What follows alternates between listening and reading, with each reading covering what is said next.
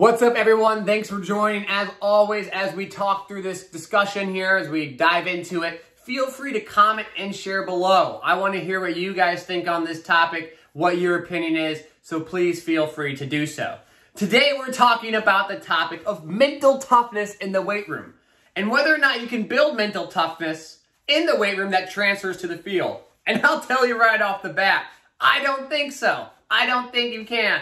I don't think it makes any sense. And what do I mean by that? Let me give it a little more definition.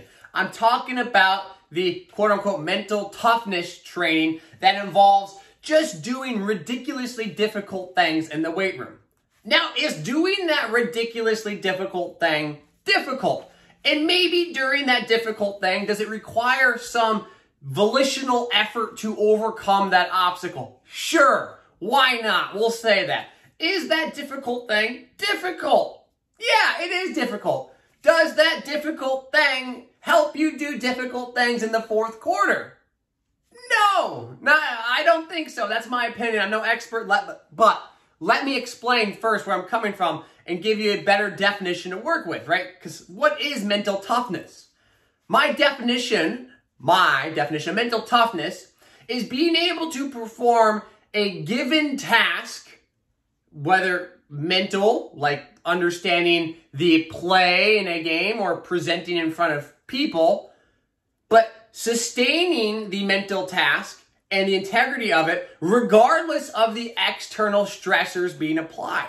So, regardless of how stressful a situation is, you're still able to perform that task as well as you would if there were not any stressors involved, mentally, socially, metabolically, actually. We'll talk about the metabolic one in a second. So I would define mental toughness, or I would draw parallels between mental toughness, like you presenting a really important sales pitch or to your boss or whatever it might be, as well as it requires mental toughness to understand the play that's happening in the fourth quarter of a championship game.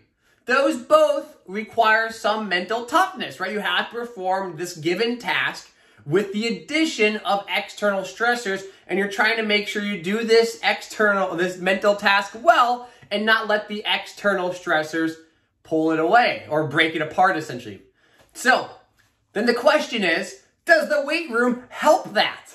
And my answer is no it does not. I don't think it does at all. Now you could argue you could argue that proper training increases your physical abilities and capacity in turn, if you have a higher level of physical capacity to deal with the stressors of the game, you can then allocate more resources to the mental tasks and efforts. Now, it doesn't mean you're going to perform those mental tasks and efforts correctly, but you could, in theory, have more energy to apply in that direction. Quick example. You have to walk up 100 flight of stairs and do a math problem and then you have to walk up one flight of stairs and do a, a difficult math problem. Odds are, and I believe there's research behind this, but don't quote me on it.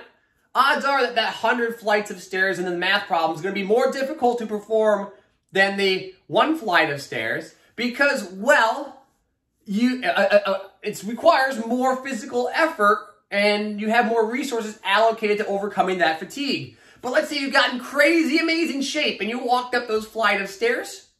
Well, then that math problem at the end might not be that hard because you're in such great shape that you can just do that math problem nice and easy as if it were just one flight of stairs. So in theory, the weight room could help your physical capacity.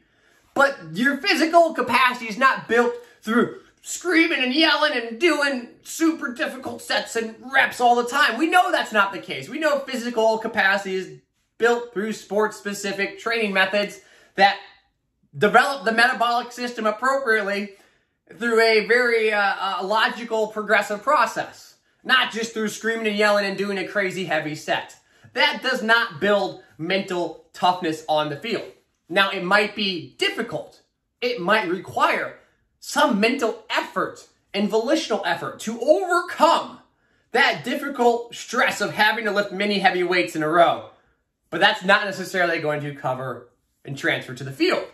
What actually might transfer to the court and to the field is actually training the tactics and the skills involved in having to overcome this mental obstacle, right? What cues can I look at on the field to help me understand the play that is coming, and so on and so forth.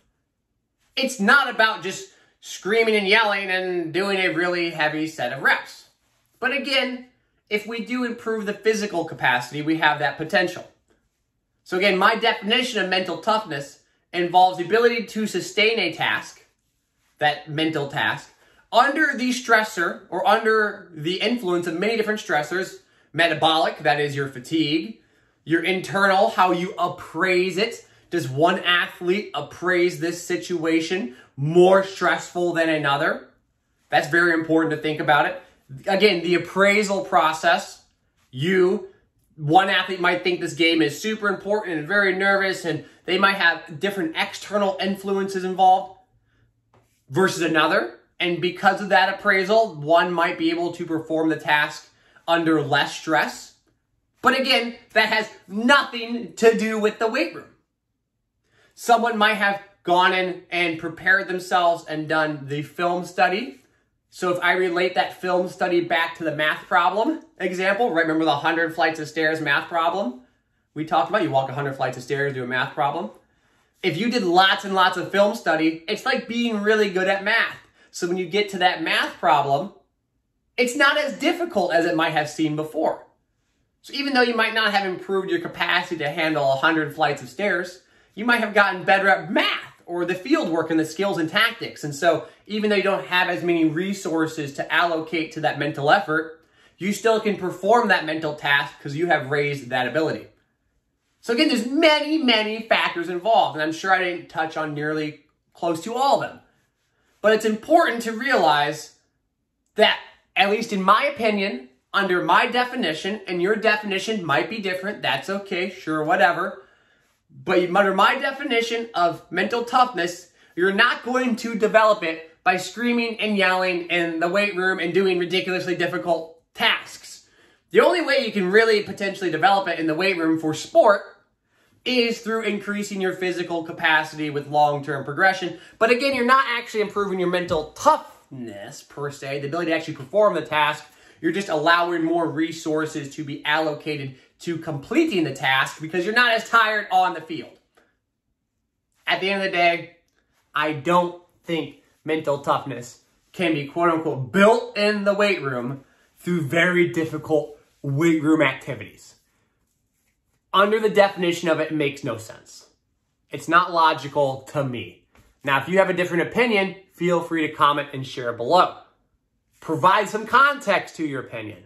Provide your definition of how that in the weight room could possibly transfer to that of the field. And remember, when thinking about that, think about the context difference. Think about what's going on in the field, the demands of actually showcasing your abilities on the field. And think about the demands that showcase them in a really heavy set and one exercise.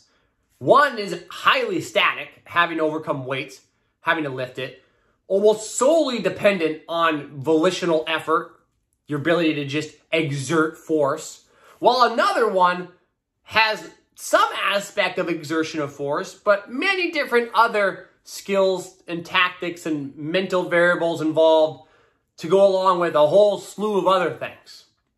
So does that one form carry over to this other form? I don't I don't think so. That's my take on it. I hope you guys enjoyed. I appreciate y'all listening and take care.